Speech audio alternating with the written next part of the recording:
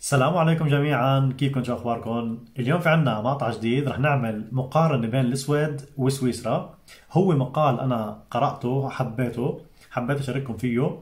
آه، بآخر المقطع رح أعمل تصويت. شاركوا فيه كلياتكم وصوتوا لي واكتبوا لي شو أكثر طريقة لقيتوها أفضل أو بتفضلوها تكون موجودة بالسويد أو برا السويد الطريقة آه، طريقة سويسرا أو طريقة السويد بالتعامل مع أهم الملفات مثلا موضوع المهاجرين أو آه، سرعة التغيرات أو القوانين والمشاريع الحكومية اللي بيعملوها. شو الطريقة الأفضل؟ سويد أو سويسرا. ما تنسوا شاركوا أو صوتوا بآخر المقطع. مثل ما بتعرفوا مثل ما بالسويد في موضوع اللاجئين والمهاجرين خاصة من الشرق الأوسط العرب والمسلمين وغيرهم دائما بيطلع على السطح بالسويد بعد كل هجمة إرهابية أو عنصرية أو مشاكل اقتصادية أو أي شيء بيصير بحطوه أحيانا بظهر اللاجئين. آه، بصير في هجمة كبيرة عليهم وطلعوهم برا البلد وما بدنا إياهم بالبلد وخربوا البلد وما بعرف شو. آه، بكون طبعا في ناس من القسم الثاني بيدافعوا دائما عن اللاجئين وبيقولوا شوفوا الأرقام. هاي الناس إجت دعمت البلد زادت عدد السكان قوت الاقتصاد سدت النقص بالوظائف وأخذوا وظائف جديدة. وفي منهم كثير كمان عندهم خبرة.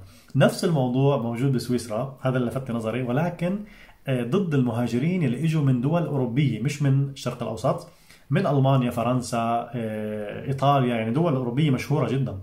السبب هو طبعا إنه سويسرا رغم إنها هي بلد صغير بأوروبا طبعا هي مش اتحاد أوروبي ولكن في عندها اتفاقيات مع مع الاتحاد الأوروبي التنقل والعمل وهاي الشغلات. آه، عندهم نفس الأزمة ضد هذول الناس المهاجرين. عندهم مليون ونص مهاجر. طبعا سويسرا بلد بيجذب هاي الناس لأنه اقتصادها قوي. هي صغيرة بس اقتصادها قوي. عندهم معروفة سويسرا الساعات الشوكولاتة و... وطبعا الأكثر أو من أكثر الدول استقرارا آه، بالناحية الاقتصادية والمالية عشان هيك بنشوف إنه قسم كبير من المستثمرين بكل العالم وخاصة على فكرة عندنا من الدول العربية الأثرياء يعني بحطوا أموالهم هنيك بيستثمروا هنيك أو بخبوهم هيك بس بالبنوك كحماية. يمكن ما بتشوفوا مسؤول عربي اللي عنده أموال آه، حاططها بسويسرا. شوفوا هاي الأموال تخيلوا قديش بتطلع قديش بتعمل أرباح وبتعطي قوة لهذا البلد اللي هو سويسرا. هذا سبب بيخلي ناس مليون ونص من أوروبا كلها يروحوا يشتغلوا بسويسرا. فعندهم نفس الأزمة. الشعب آه، ما كثير مبسوط منهم مع إنه عندهم بطالة 2.5 أو 3% آه، أقل نسبة بطالة على فكرة بكل أوروبا يعني يمكن السويد 10% بطالة أو يمكن 12% ومع هذا ما آه، مبسوطين من هذا الوضع. فالمهاجرين اللي موجودين بأوروبا أو بسويسرا ما عندهم حق التصويت.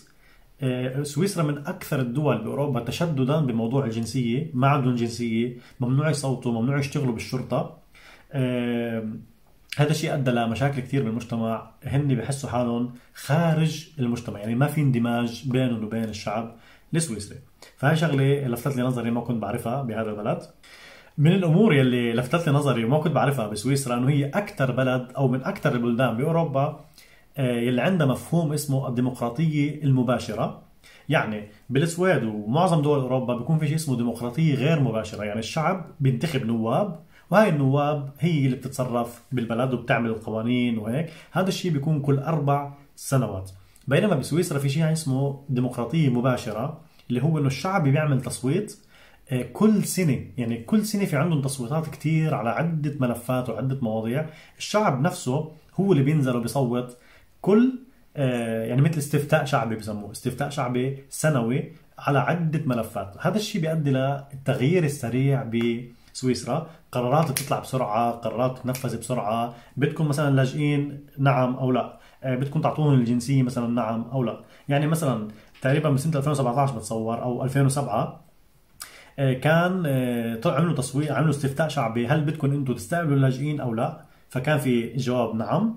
ولكن مع السنوات آه، هلأ حاليا مثلا من فترة عملوا استفتاء ورفضوا يعطوا الجنسية لهدول الناس. يعني كان في استقبال بس بعدين ما رفضوا يعطوهم الجنسية.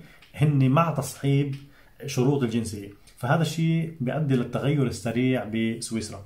بينما لو جينا على بلد مثل السويد كلكم تعرفوا أنا عملت مقطع زمان في بطء شديد شديد بهذا البلد بالتغييرات بالمشاريع. مرة أنا قلت يعني إذا بدهم يعملوا شارع جديد أو يعملوا جسر جديد بينتظروا من انتخابات لانتخابات. هذا الشيء طبعا له جذور إنه الشعب السويدي هو بطبعه ما بحب التغيير بحب البطء بحس إنه الروتين والبطء بالتغيير هو عامل استقرار بحسوا حالهم بامان طبعا هذا الشيء يمكن مزعج لنا نحن كلاجئين لأنه نحن همومنا والشيء اللي بدنا إياه مش هو نفسه الشعب السويدي اللي, اللي أصلي يعني بده إياه. يعني إحنا مثلا بنفكر بلم الشمل بنفكر بالجنسية بنفكر. باللغة بكثير شغلات. بينما هن ما عندهم هاي هاي الأمور هاي الهموم يعني. فبهمهم البلد يضلوا هادي ورايق عشان هيك السويد تعتبر أبطأ بلد بالتغيير بكل إسكندنافيا. يعني الدنمارك النرويج فنلندا بتلاقيهم عم يتقدموا بسرعة. السويد بتلاقيها طالعة بشو؟ ببطء. هي هيك البلد. بينما بسويسرا مثل ما قلنا ما بينتظروا كل أربع سنوات ليتم التغيير لا كل سنة بسنتها. فهذا الشيء في ناس بيشوفوه إنه هو شيء كويس إنه بيؤدي له والله سرعة اتخاذ القرار في حزم مثلا في تحسين سريع في تصحيح للأخطاء بسرعة.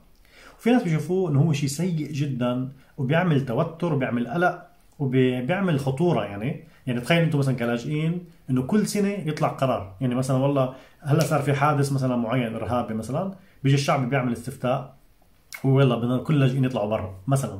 بينما بالسويد لا كل أربع سنوات ليطلع قرار. حسب كل شخص بيشوفه من ناحية. أنتم شو بتشوفوه؟ بتشوفوه جيد سيء. شو بتحبوا يكونوا فيه؟ خاصة بالسويد نحن عم نحكي بالسويد شو بتحبوا يكون فيه؟ طريقة السويد تضلها موجودة كل أربع سنوات ولا لا؟ عن جد يكون في سرعة إنجاز للمهمات إنجاز للملفات بشكل سريع. صوته تحت ب... أو صوته هون بالمقطع. رح أشوف تصويتاتكم اكتبوا تعليقاتكم لأني رح أقراها ولأني رح أشوفكم إن شاء الله بالمقطع الجاي. ديروا بالكم حالكم بحبكم كثير زي العادة كان معكم خالد. السلام عليكم.